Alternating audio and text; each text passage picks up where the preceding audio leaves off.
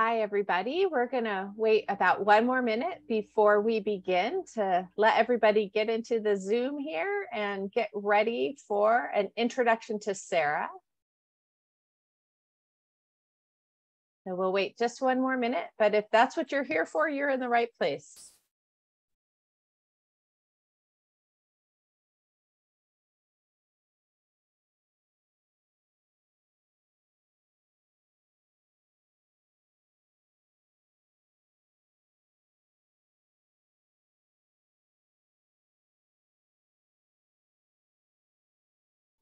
All right, welcome to part two of the NC SARA and WCET SAN two-part summer webinar series, all about state authorization.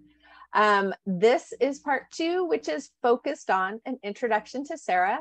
Last week, our colleagues Cheryl Dowd and Kathryn Kerensky, the Director of Digital Learning Policy and Compliance with WCET SAN, joined um, all of us to focus on state and federal building blocks for out of state activity compliance.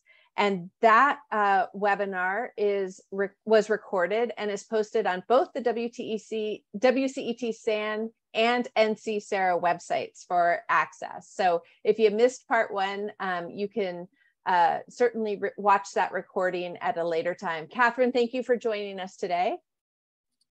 Yes, thank you, Mel. Thank you for having us. I just wanted to say quickly before moving on, on behalf of SAN how much we really appreciate this collaboration with our colleagues at NC SARA. So I'm really happy to be here. Um, take it away, Mel. Looking forward to the presentation. Thank you. And we appreciate the collaboration very much as well. And it's um, been a, a, great opportunity to uh, reach out to all of our constituents, our shared constituents, and, and help kind of lay the groundwork, some uh, introductory information about state authorization and today about SARA, State Authorization Reciprocity Agreements. Um, I am joined today by Marianne Boeke, Acting President and CEO of NC SARA and the Vice President of Research and State Partnerships, as well as Jeannie Yockey-Fine, General Counsel and Vice President, Policy and Regulatory Affairs. And we also have our colleague Mary, Ag Mary Larson from NC SARA who will be running the Q&A for us. And we do have plenty of opportunity and time throughout the webinar to stop and take um, some questions from all of you. So make sure you post those as they come up in the Q&A and Mary will help us manage that. Next slide, please, Marianne. So our agenda today, we're going to talk a little bit about before and after SARA. What was the problem that SARA has solved? How does SARA work? Um, what are some of the basics that folks need to know to understand how SARA functions in the higher ed environment? And then we'll take some questions. Then we'll go into a, a section called SARA Today and what might be at risk. And we'll take some questions. And then NC SARA resources. And we we will share all of those um, resources that NC SARA has been developing and are publicly available on our website. With that, let's start with before and after SARA, and I'll turn it over to Jeannie. All right. Thank you, Mel. It's good to have everyone here. Let's talk about how it used to be and where we are now. Those of us who've been in the state authorization world a long time know that things were sometimes tough, uh, not only for the states, but for the institutions, I would say especially prior to SARA and for those who still have to operate outside SARA.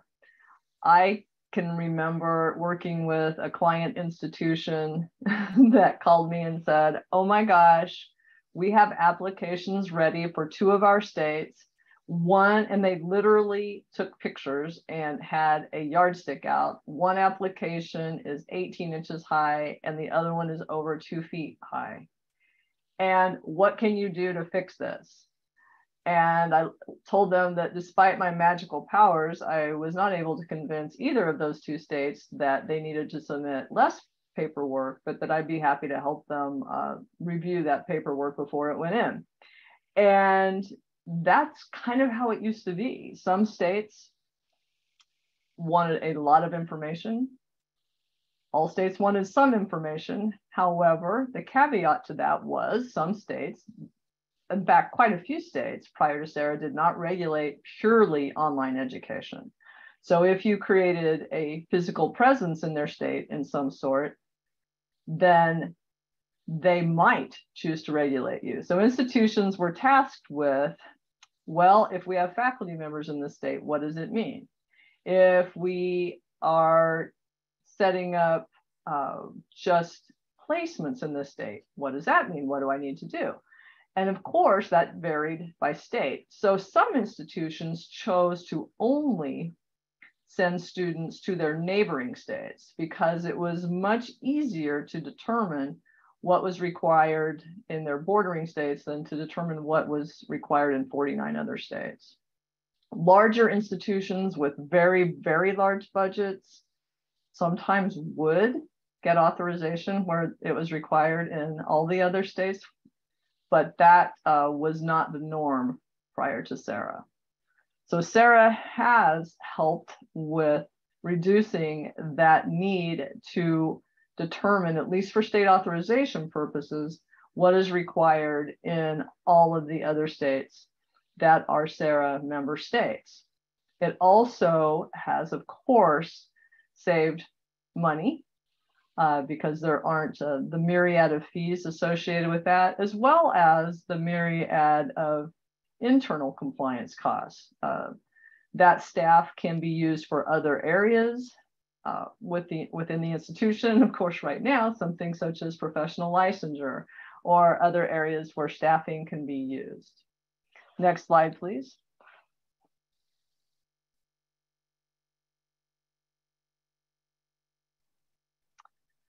So this is a, a, chart that we did, actually it's been a couple of years ago now, I believe, just to break it down, uh, especially for those not as familiar with SARA or those who weren't involved with SARA, uh, weren't involved with state authorization prior to SARA.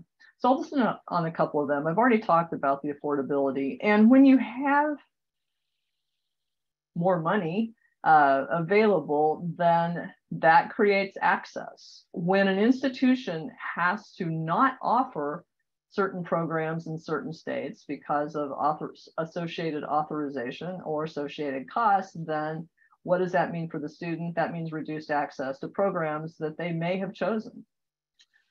Another area is enhanced protection. So not only do we have the authorization of the home state, we also have the policies required by SARA, but also almost a, one third of states outside of SARA don't require accreditation for degree granting programs. So that's another area where SARA has helped lift the bar is with uh, the requirement of accreditation. Next slide, please. I'm going to hand it to Melanie now to talk about how SARA works. Thank you, Jeannie. So in this section, I'll do a high level overview of um, kind of what's some, what's some important information about how does SARA work. So if you'd go to the next slide, please. Let's start with some essential principles. It's important to note that SARA is voluntary.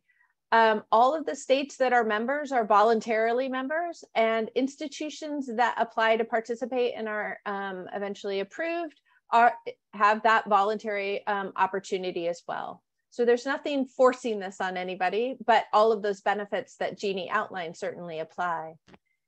The other principle about SARA that's really important to know is that it truly is built around acknowledging the traditional rules within higher education's accountability triad. That is the state's purview over consumer protections, accreditation over continuous improvement and quality assurance, and, and of course, the federal government. And it lays out this framework for reciprocity. Um, it's a SARA policy across all of the state members, with the members being very important constituents in that policy. And NC SARA, the National Council, uh, works in partnership with the four regional compacts for that um, support and implementation of SARA across all of the member states. So these are just some essential principles about the design of the reciprocity agreements. Next slide, please as mentioned, the role of the states is really important in SARA. States approve their home state institutions to participate, and SARA relies on the importance of this home state authorization as a starting place. You may have heard the word SPE or state portal entity. this is the agency in each SARA member state that's responsible for um, approving and um, assuring compliance with SARA policies for those institutions that participate. And NC SARA um, maintains a, a, directory of state portal entities on our website.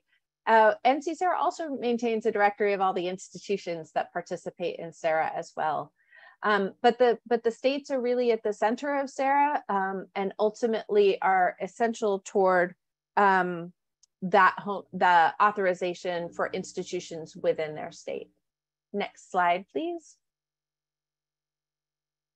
So how does an institution participate? What's involved? Well, this kind of outlines the steps for the application and renewal process.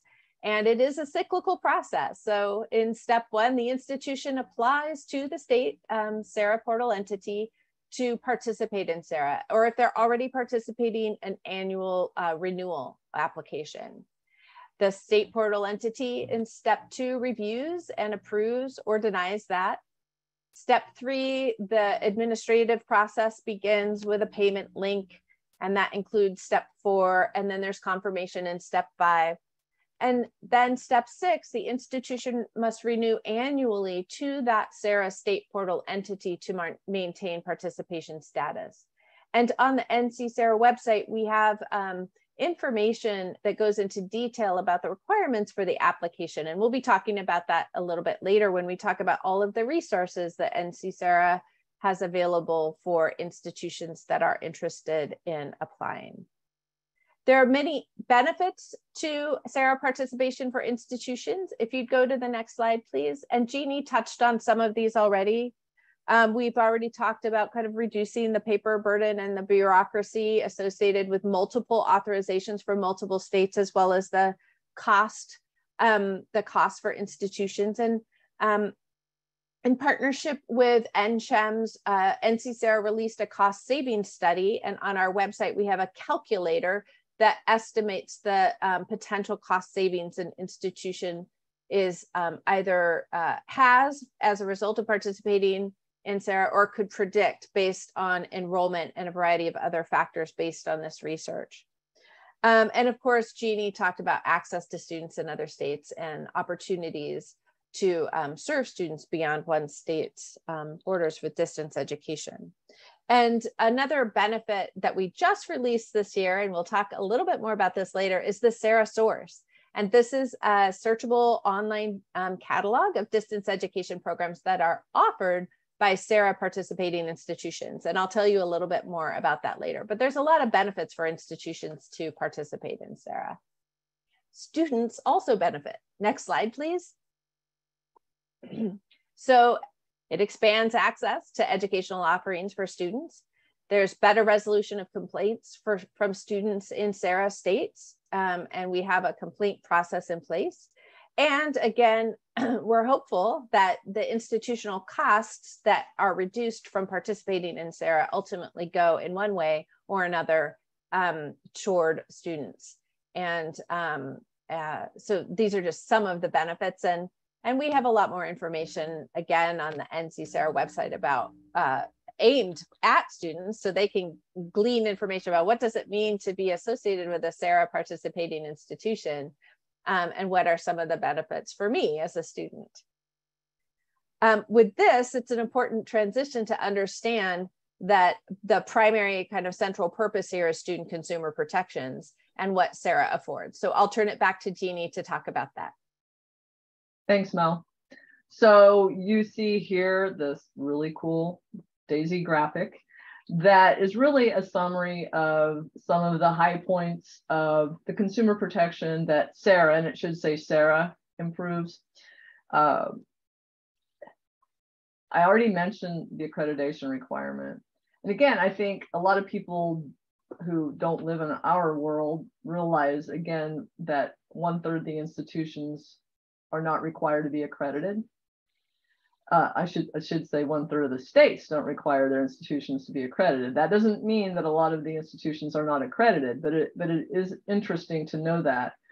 And by requiring that, I do believe, and I think most people would agree, that it doesn't it does help ensure the quality of education and when you have quality education that helps protect the students SARA also ensures that there is financial stability. We know that if an institution has a federal financial responsibility score of 1.5 or above, that they can participate. But if they're in range, the state can choose to put them on provisional or not allow them into SARA. And of course, if they're below 1.0, then they will be removed from SARA. So there is some protection based on uh, financial responsibility.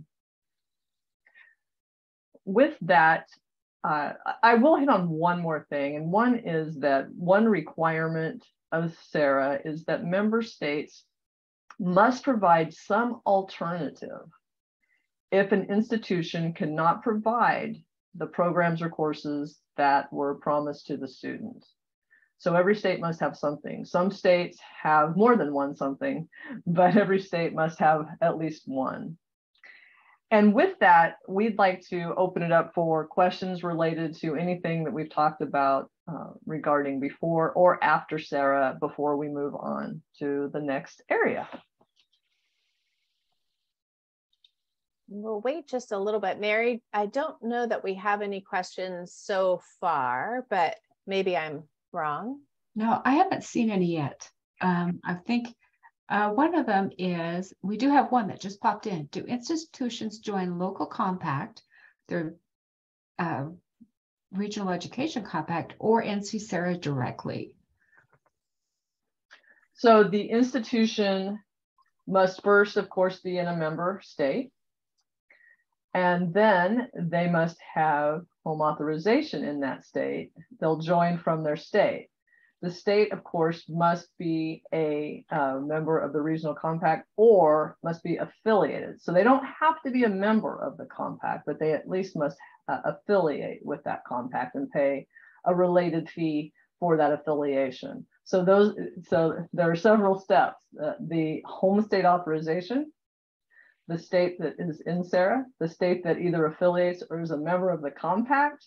So all of those things uh, come first. And of course, the institution must be degree granting and accredited and meet all the other myriad of policy requirements in the SARA policy manual.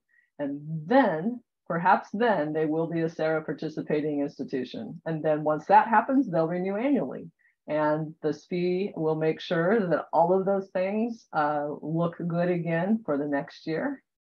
And uh, then we'll see them again. And uh, one, one other question. Uh, just a confirmation, Jeannie, that it's institution to state to region to NC SARA. And then Terrence has a question asking you if you can expound on what you mean that a state must provide an alternative if the institution is unable to fulfill certain criteria, if he heard you correctly. So um, the state, the state is ensuring that the institution provides it. So the state has something in their requirements that say, okay, institution, we want to make sure that you provide, uh, you know, uh, that you have a surety bond or that you have a student tuition recovery fund or teach out agreements or teach out plan some level, the state has that requirement, and then the institution, of course, has to meet that requirement. So that's what I mean by the state having it, and then that impacts the institution having it. And that's a SARA state member requirements. There's something uh, to fall back on. And Terrence says, thank you. You've, you've clarified that for him. Thanks, Terrence. And any other questions, Mary? No, I think we can move on to the next session and I'll keep my eyes open. We will we will have plenty of time for questions after this next session section of this webinar and at the end. So with this, I'll turn it over to Marianne to talk about SARA today. Thank you, Melanie. Thank you, Jeannie. So uh, I'm going to talk about or a little bit about uh, the membership that we have currently in SARA, the SARA participating institutions, and I'll even talk a little bit about data. So we'll start with our SARA member states. I love this map because I think it is just such a nice visual. It really shows our SARA partners here, uh, particularly our regional compacts. You can see it's color coded. So the dark blue is WICHE, the orange is MAC, the cranberry is SREB, and the kind of soft blue is uh, a NEBHE. So those are the four regional compacts. You can also see that there are some states that are grayed out. Those are the ones that have affiliated uh, with one of those four compacts, just as Jeannie said, so that they could uh, participate or be members of SARA. You also see uh, a big um, state that's black. that is California, and California is not in SARA yet. The other 49 states are in SARA. We also have three territories and districts. We have Puerto Rico, US Virgin Islands, and the District of Columbia. So 52 total, uh, but we do not have California yet. And I know people like to ask questions about California. And so if those come up at the end, we're welcome to talk about kind of what strategies in are happening um, in that state. Uh, I also want to just point out again that uh, the states are such a vital part of what we do. They are the boots on the ground. They're the ones who are doing the, the good work of um, explaining what SARA is, helping institutions get through the application process. They're the ones that um, uh, review them annually. So I just think this map is really nice to kind of show the regional compacts and show all the states. This next slide, uh, I'm going to talk a little bit about what's on this slide, and then I'm going to give you a little bit more information as well, because this slide is all about the institutions that participate in SARA. And currently we have over 2,300 of them. Uh, the most uh, kind of big takeaway from this is that public institutions continue to comprise the majority of um, our institutions. Here it's talking about the distance education enrollments. I'll talk about that in a minute. But honestly, the um, the majority of SARA participating institutions are public. It's about 50%. There's about 43% that are the nonprofits and about 7% that are the uh, um, for-profits. And you can also see here that we're talking about the enrollments because that's kind of really important too. Folks think it's interesting to know about the sectors of the institutions, but it's also really exciting to kind of understand who our students are and where they're being uh, enrolled. And we put both of these up here, the 2020 enrollment and the 2019 enrollment. We did that because 2020 was a little bit strange because of the COVID. Um, but you can still see here that the majority of students are coming from the public sector and then uh, nonprofit and then for-profit. So it mirrors the actual number this, that we have in the sectors as well. And that's sort of interesting.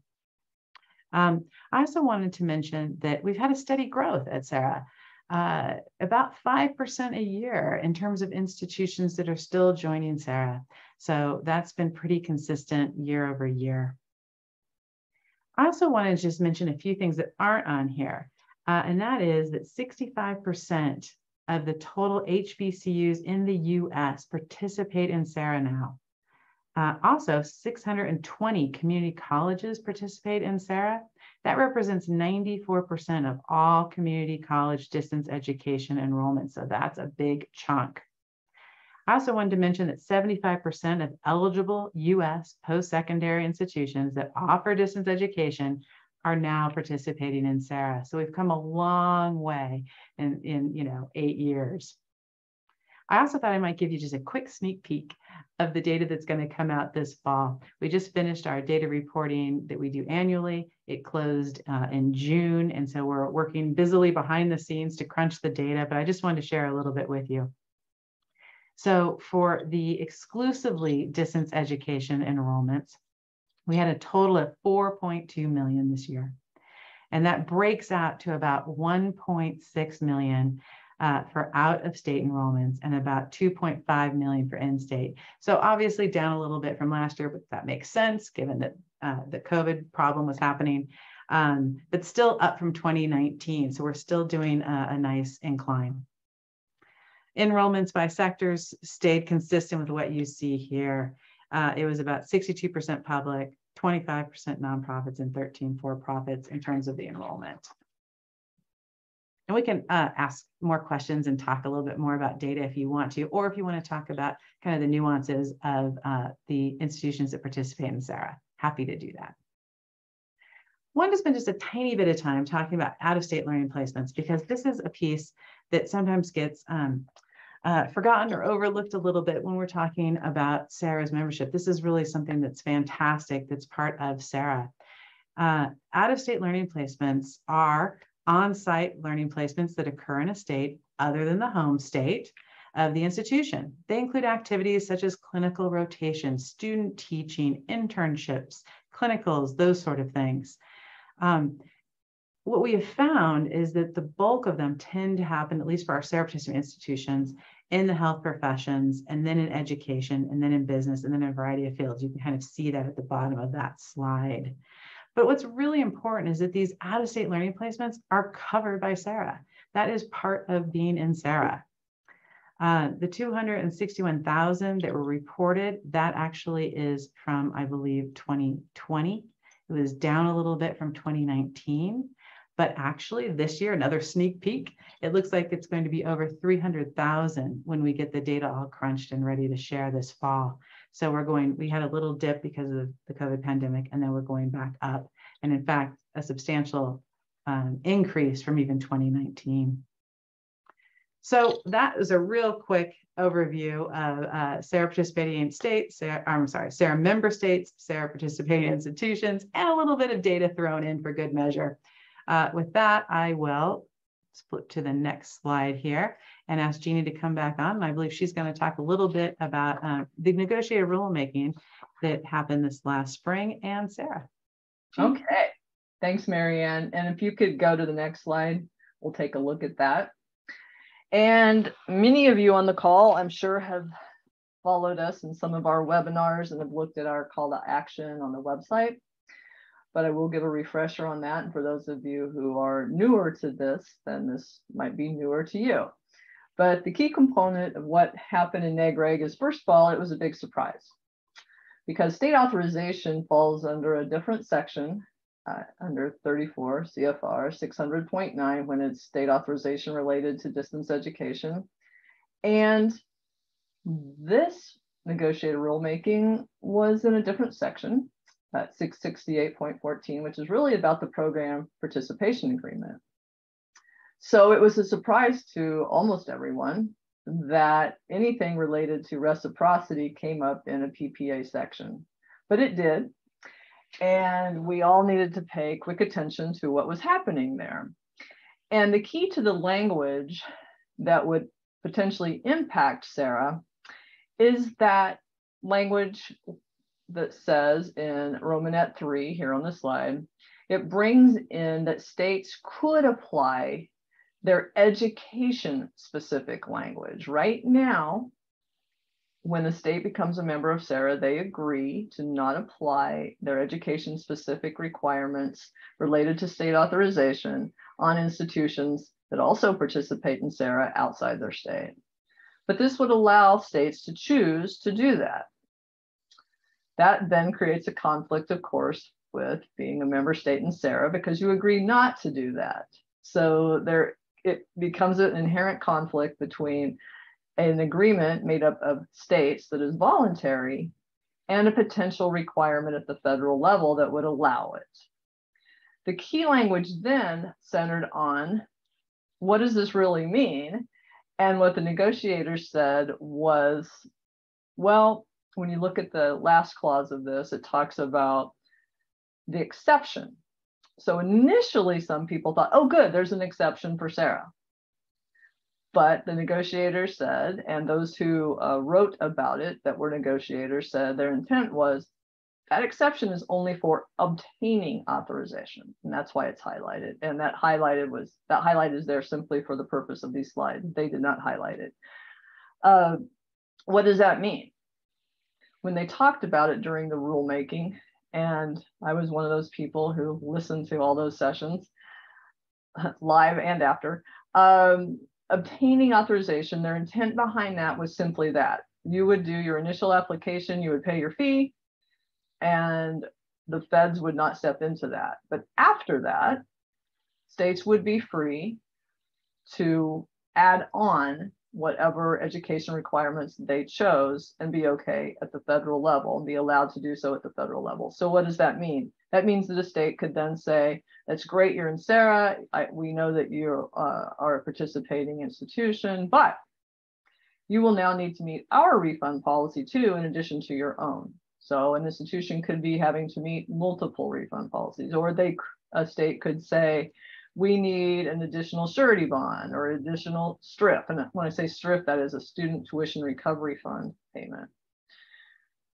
Now, the conflict, as I said, comes in where the, the federal language would allow one thing, but the SARA membership agreement would say the opposite. So right now there's also a conflict in the definition of a, reciprocity agreement, which sits at 34 CFR 600.2. That definition is very clear that a state may apply its requirements, its consumer protection requirements generally. That means to all businesses, everyone is treated the same. There's nothing allowed by definition that could bring in those education specific requirements. So it would conflict with its own language at a different section.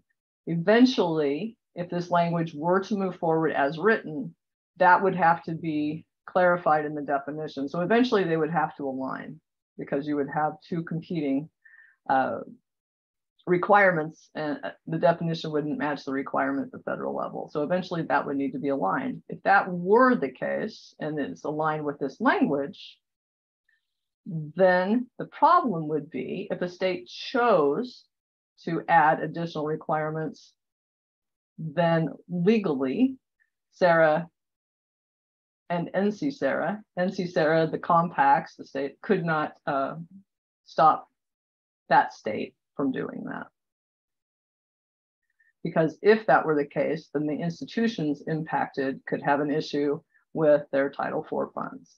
So right now it's been a, a, circular situation on what could happen, what could come first. If states would actually even choose to, it's not saying states have to do this, it would allow states to do this. Who would do it? How would that look? So there's been a lot of, uh, there have been a lot of discussions. There have been meetings. There have been, uh, we've looked at a lot of data on what could be impacted. It, you know, we've, we've played out a lot of scenarios. But here's the situation now. Next slide, please. Right now, everything is paused. And what the federal, uh, what the feds released was a statement that said, right now they're looking at publishing something in spring of 2023 in April. If that is the case, then at least 30 days will be allowed for a comment period from the public. And everything, if everything moves along such that they can answer all the comments and move their language through and get it on the master calendar by November 1st of 2023, then whatever the language is that moves forward would go in effect July 1st of 2024. So right now we're almost two years away from whatever the language is going to be moving through.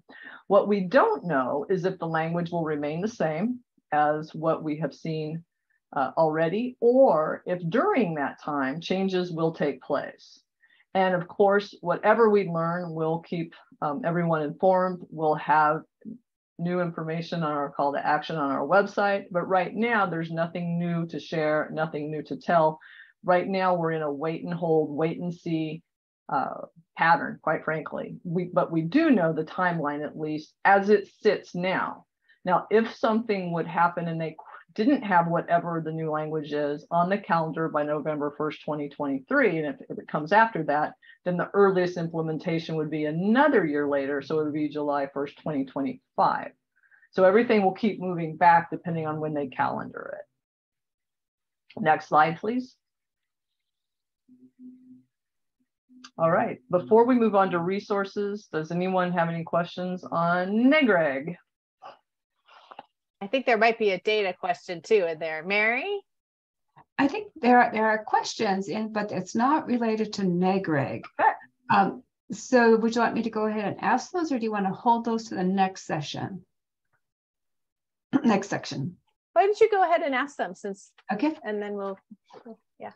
Okay, uh, the first one is if a state is a is in a regional membership, i.e. Tennessee is an SREB, then it is assumed that the reciprocity among the states is in that region, or is it for the national reciprocity agreement. And Okay, sure. So that part. Right. So the reciprocity, because um, the way SARA is written, the reciprocity, whatever region you're in, gives you that reciprocity across the United States with any other member state. It's just that the regional compacts work with their states within that region to help oversee the institutions in those states. So we have the different compacts, as you saw earlier. And that reciprocity, however, does extend across the nation. So you're not limited to just that region. Thank you. And the other one is a broader question, somewhat related to how Marianne opened the, the webinar. Uh, what can you share about Pacific territories, Guam, American Samoa, and the Mariana Islands, and the sovereign states of Palau, Micronesia, and Marshall Islands? Any update if they will join SARA? And if not, would you know if they are regulated? And if no regulations, do the institutions still need to seek authorization? All right, so there are a lot of parts of that. Right now, we don't have an update on any of those as far as uh, for SARA purposes. Uh, that doesn't mean there haven't been discussions with regional compacts, but right now we don't have anything to share on that. The next question is, do some of them have some type of authorization? Some of them might. So it's really important that your institution uh, try to contact uh, wherever you think you might have students or might be planning to have students that you contact uh, any of the territories where that might be the case. The third is if you have been told they do not have regulations, meaning from someone from there, uh, if they are not overseeing state authorization, then there is nothing for you to do. You can then uh, provide distance education. And in there were uh, there were some in the past that I know did not. They said we're not trying to look at distance education. So that was the case, but I have not looked at those in a while because they're not part of SARA. So uh, it's something I haven't had to do like I used to have to do. So I can't tell you, and I wouldn't want to be the one to tell you what the requirements are. So that is something uh, that please work with your general counsel, your compliance teams at your institution to determine what you need to do. But again, if a territory, there an agency in that territory that would be related to what would traditionally be some form of authorization tells you that you don't need to be authorized, then you don't need to be authorized. Other than that, uh, keep looking, uh, talk with your peer institutions to see if any of them have made determinations and how they determined it. And, uh, you know, sorry not to have better answers, but I can tell you that's kind of how it's been for a long time with some of the uh, smaller territories. And we do have one question regarding NEGREG. Can you give examples of the state regs that might be imposed should states be allowed to increase um, the regulation and what would be the negative implications? Sure. So I mentioned some of those. Um, and, and remember too that it's not even necessarily about increasing them because the home state already has a lot of regulations the institution has already had to meet that home state authorization. But what could happen is you could be, let's say, um, you could be a Florida institution. So you already have your home state authorization. But the state of Maryland could say, we want you to follow our refund policy because we think ours is better. So if you have students in Maryland, you would have to meet theirs. But then Nebraska could say the same thing. We want you to meet our refund policy. Now, in addition to that, Kansas might say, we want you to have a surety bond. We know that you're already, you know, you already seem fine in Florida, but you have some students now in Kansas, so we want to add a surety bond on top of whatever you had to do in the state of Florida. And then Georgia might say, well, we notice you have some faculty members here, and so we need to talk to you about that. You might need to do something um, with them. Uh, also, it could impact placements um, states might could require something additional for placements. Right now, SARA, as you know, covers placements under certain limitations, but that could happen. So it's a myriad of, of what coulds. And again, that doesn't mean that states would choose to do that, but it's what could happen. What does that mean ultimately? It means several things. One, if state A does that to state B, state B might decide to do that back to state A. So it becomes that.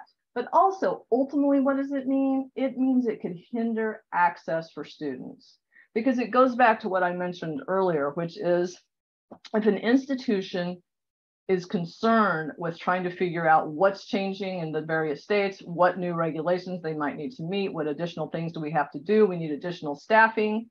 Uh, it's so difficult to keep up with these. We're worried that we'll be out of compliance. Sometimes they might have something in, let's say, the Office of General Counsel who will say, you know what, it's not worth the risk. Pull back from those states. Let's go back to where we used to be. We worked with our neighboring states Let's keep it there. We know what we need to do there, and that's what we'll do. And what does that mean? You've just pulled back access to students from maybe 10 other states or 15 other states or 20 other states. So the impact goes back to, again, ultimately who's harmed? It's the students. As online education has expanded, we know that so has access. And students have been able to be in programs they may not have otherwise been. And so this could dial us back to you know a little bit closer to where we used to be prior to SARA. And again, limiting that access, limiting that access to placements. We're in a time now where you know you don't have to read very far in uh, various articles to see that there's a struggle sometimes to get students in placements. So you think about having those impacted and how difficult it could be in, in a time where we're having nursing shortages, teacher shortages. It's it would just be going the wrong direction. Oh, um, do you have time for a couple more questions or do you want to move on and then come back? Why don't we do one more question that's relevant to this topic and then we can move on and we'll have time at the end? That sounds great. just, just a reminder that if for some reason we don't get to your questions, please forward it to info at nc-sara.org and we'll be able to follow up with you at that time. Uh, so one of the questions is, could you control this by having member institutions sign a revised agreement with SARA to not impose specific regulations on members? Or do you feel that you would lose some states? The question references member institutions, but I think it might be member states. Well, right now, that is what states do. States do agree not to impose their additional requirements on institutions outside their state. Uh, so right now, that's exactly how it looks. The problem will be um, what when a state decides to go against that and follow federal language. Again, you know, depending on how that federal language looks, what then happens? You know, that then places the regional compact in a situation where they have to look at that state and decide, are we going to remove you? And it, it, creates a myriad then of potential issues because if the state is removed, then that means the institutions do not are not able to participate in SARA, therefore impacting access. So ideally, states would follow what they've been doing for the past eight years, those who started out in the beginning, because quite frankly, we've seen SARA be extremely successful. So, uh, you know, that would be the ideal. We don't know what will happen uh, we will pivot and, and work toward whatever it is we need to do to make SARA continue and to make SARA work because it has worked for, at this point for millions of students. Uh, yeah. And we will have time at the end for more questions. Um, so I think at this point we will um, shift gears and talk about the resources that NC SARA has pulled together to support the state members and the institutional participants, as well as some of those of you who may be thinking about institutional participation and wanting to know more before you really go down that road. Next slide, please. So the first um, uh, resource that I will share with you is a page on our website called the SARA Learning Station. And we have cultivated from our state members and many of our institutions very effective practices from the field, and we've um, kind of compiled them into different formats.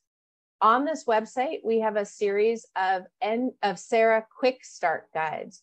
These are very brief, um, easy to access explanatory documents for institutions primarily that um, talk about SARA policy and help to kind of demystify what an institution needs to do and, um, and how a state might um, work with institutions around a particular SARA policy requirement. We also have two online courses now that are publicly available. One is SARA 101. It's a, a, an expansion of this webinar, quite honestly, and goes into a lot more detail about the, the um, ways in which SARA was put together and the ways in which it works. And then we also um, just released with our In the Field conference a online course called Foundations of Annual Data Reporting. And if you are a SARA participating institution and, um, and you're responsible for the data reporting um, that occurs annually, you'll want to make sure to take that course. It is a, um, a companion to the handbook. The handbook is kind of your how-to guide, but that course kind of lays out um, a foundational overview of data reporting. It also may be a helpful course for colleagues to take so that they understand the rationale for the data, what's reported. And another important part of that course is what can you do with the data dashboards? And I posted a link to those data dashboards earlier. How might they help you um, think about planning or think about your own institution in the context of this SARA universe? Um, we also have resources from NC SARA's institution conference. Uh, our first conference was last year, 2021, and all of the resources from that conference are available. And we will soon, uh, in about 10 days, have the resources from the 2022 conference all up on that website. And it's all accessible through the SARA Learning Station. So it's kind of your one-stop shop. And I will put that link for you to grab in the chat as well. Um, you can bookmark it and take a look later. Next slide, please. I mentioned the SARA Quick Start Guides. This is the topics that are covered in the, in the 10 that we have, and we're developing more. Again, we've developed these in partnership um, with our state portal entities and um, have really pulled together kind of some of the best effective practices.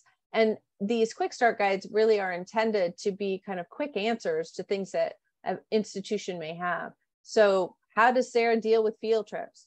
How do I think about what a short course is in the SARA universe? Um, what do I need to know about addressing SARA on military bases? Um, one I would point out um, is the institution application quick start guide. And that one is actually a much longer guide because it details and describes um, uh, information for submitting the institution application. With all of these resources that NC SARA puts on the website, it will be very important to talk to your state's state portal entity specifically, as there may be some state specific um, approaches or processes or requirements that you'll want to know about. So again, the, what we put on the NC SARA website is, is generally nationally applicable, and you'll always want to be in contact and communication with your state's state portal entity. And again, the list of those folks is available on our website as well. Next slide, please. Um, also on our website, we have a variety of other resources that you may find useful in your day-to-day work. we have a collection of resources and a professional licensure directory. And as Jeannie mentioned, that's a hot topic right now. Uh, we have the state authorization guide, um, which um, provides information about state authorization requirements outside of SARA for all of the states, and it's updated regularly. As I mentioned um, when Marianne was talking about the data, we have data dashboards and annual data reports, and all of the data is publicly available um, on, the, on that page. We talked previously about SARA cost savings and the SARA cost savings uh, report, as well as that cost savings estimation calendar, ca uh, calendar calculator are available on the NC SARA website. And again, we have a directory of institutions that are approved to participate in SARA. Um, and as Marianne mentioned, there's more than 2,300 of them. So that directory is growing as we speak. I also do want to point out the SARA source. We're really excited about SARA source here. We launched this um, earlier this year, and it is an online uh, catalog designed for students to showcase SARA participating institutions distance education programs. And if you go to sarasource.org, and I'll put this in the chat as soon as I'm done talking, you can see this catalog and you can search it. We have more than a thousand programs in there now, and it's growing. Um, and we're we're just gradually getting more institutions and their programs in the catalog. And so we think that this will be an incredibly useful resource to students out there as they look to understand what are the benefits of, of attending a SARA participating institution. So um, again, we have uh, a variety of resources available on the website from the SARA Learning Station through these other directories and guides. And we invite you to explore these under the resources tab um, on the NC SARA website. And as Mary mentioned, um, our email info at nc-sara, nc-sara.org is also a very important resource for you because sometimes you may not be able to find the answer to your question. And if you put it in that email address, we'll get it to you directly. And that's kind of one of our kind of help desk uh, availabilities um, that NC SARA offers. Next slide, please. With that, we are now toward the end. Um, and I'm going to put a couple of links in the chat uh, that I just mentioned. And Mary, we'll see if we have more questions. We do have a question. And that is, I think it probably goes back to Jeannie's portion of the presentation. What is the process to follow if an interpretation of NC SARA rules is different by a state and a particular university? So the university would definitely talk to their SPE uh, to figure out, you know, what the misunderstanding is and what's happening. What then happens is the state talks with their regional compact, and oftentimes they talk to us, and we talk about, you know, what may not be clear in it. We talk about the intent of the SARA policy language, and I can tell you that you know, the policy manual has been a work in progress since SARA started. Um, it has grown. We have seen things come up that need to be addressed, and sometimes the language isn't clear.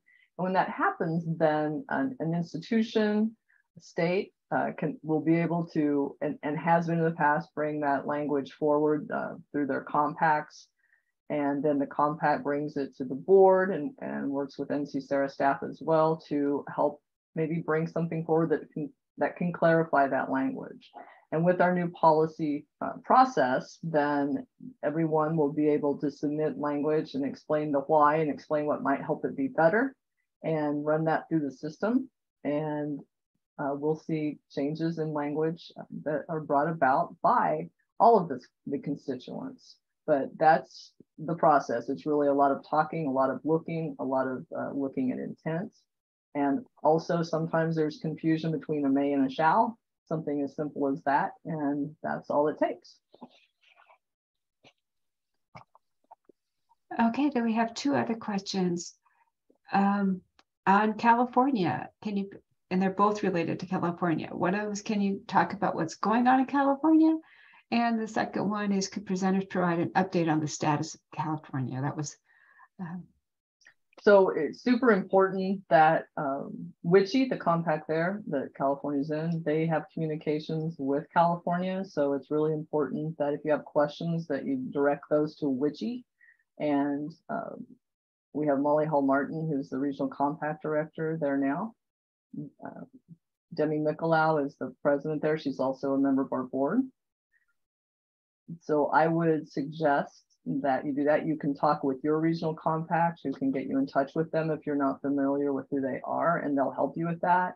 But they're in the best position to talk about what's happening with California. And I might just add on there that um, there definitely are still in conversations with California. Uh, those conversations continue, and I know WICHE is working very hard uh, with some of the uh, territories as well. As soon as we know anything about California or the territories, we would certainly share that because I know we're all kind of waiting to, to finish out that map. Um, but Jeannie's absolutely right. For the latest and greatest information, uh, the folks um, at WICHE that work in the SARA shop would know the most about that. Uh, but I know it's working. They're working on it behind the scenes.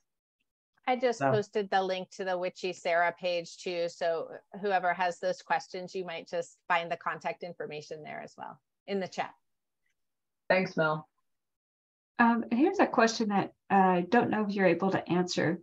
Um, is it correct that California does not require additional authorization slash fees for out-of-state placement, out-of-state placements? That is something that you will, you can first look on our state authorization guide that's on our website. It gives you uh, California's requirements, but it's still important to use that just as a starting point and then confirm that information with California BPPE to ensure that nothing has changed, uh, whatever that is. Uh, they have had legislation recently and have made some changes. So please check with them to see what the requirements are.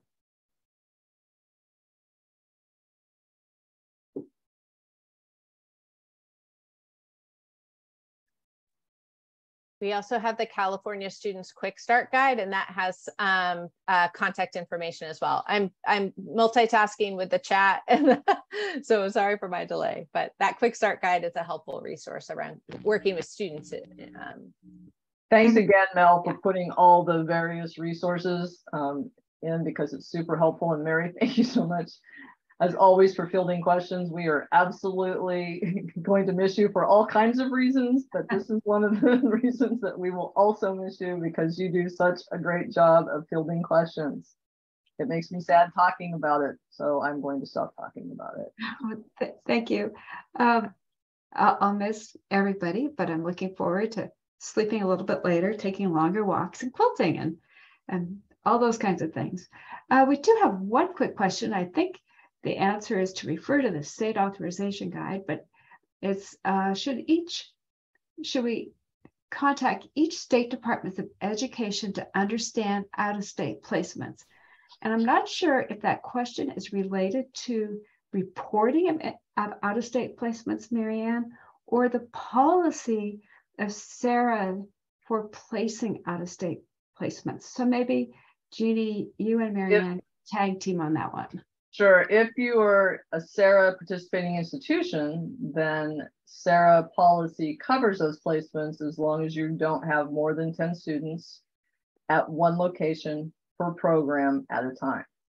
So if you're exceeding that, you need to talk to your state portal entity to see if you can be allowed to go above that and also work with um, the states it would be the port, state portal entity of that state. So they will communicate with the other state portal entity to have that discussion. And if it seems excessive, then you will need to work with that other state to determine what the requirements are for placement. Some states want to look at the, let's say it's a hospital, a clinical, they want to look at what that agreement is. And oftentimes the board, the licensing board will too, which is independent of SARA, but sometimes the state authorization agency will also want to see what that agreement is, how that looks. But again, that's if you have exceeded uh, what you're allowed under SARA policy. And if you're not a SARA participating institution, then obviously you need to be working with that state.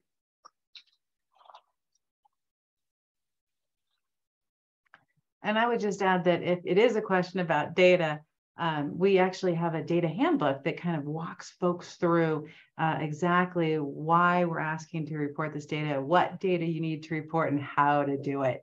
So that'd be a great resource to look at. There's just so many different complexities to it. Um, and I know we only have about three minutes left. So I, um, if you can't find it in that handbook, email me and, and I'll help you out.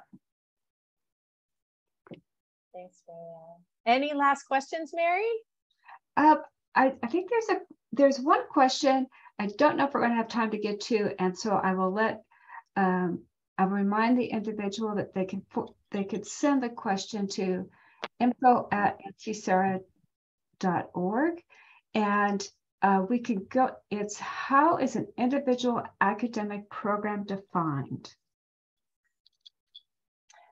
so that may be for data purposes and that would be in the handbook. Um, but please feel free to contextualize your question so we know a little bit more about it. Um, info at nc-sara.org. With that, we'd like to say thank you to all of you who um, joined us today. And also thank you to um, Kathryn and Cheryl at WCET SAN for this collaborative partnership that um, has put on these two webinars. Again, you can access the recording of last week's webinar and then soon the recording of this webinar um, from the SARA Learning Station um, website on the NC SARA site. as well as from WCET SANS website. And we're so appreciative of all of you who came and participated today. And we hope that we can um, continue to answer your questions at that info at email. And we'll see you next time. Thank you very much.